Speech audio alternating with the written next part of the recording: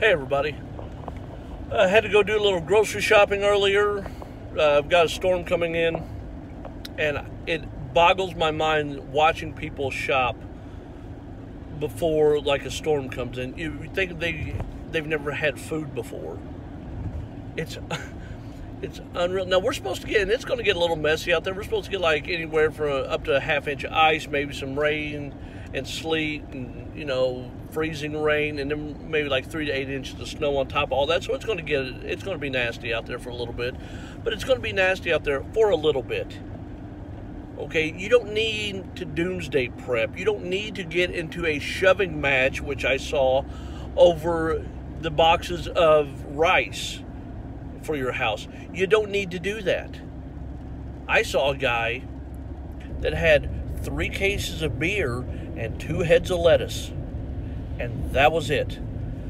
I don't know what that what that means. If that's what your staples are to get you through the winter storm.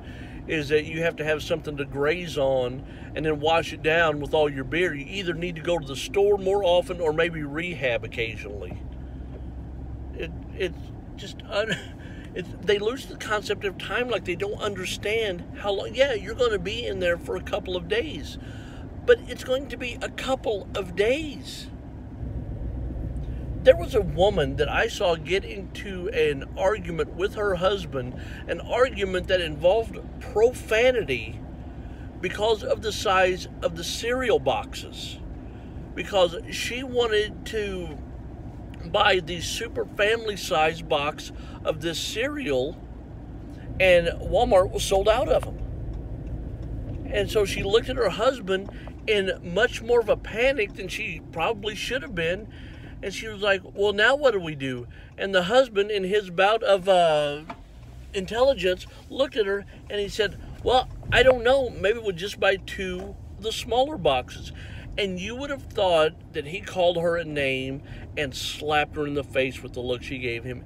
And she started cussing in a very loud volume and she goes, Oh, so now I'm supposed to have to buy two smaller boxes that's probably going to cost more money. And then she said this She goes, And that's how they get you. Is it? Is that how they get you, lady? Is that how Walmart, the most successful store in the history of the world, gets you?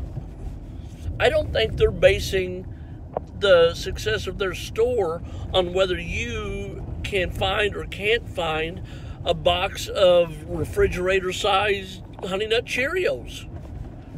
That's how they get you. I don't know what you're going to wash that down with because apparently the other guy bought all the beer, so you're probably in a lot of trouble. But anyway, use a little common sense. Get you uh, get through the storm. I'll talk to you guys later. See ya.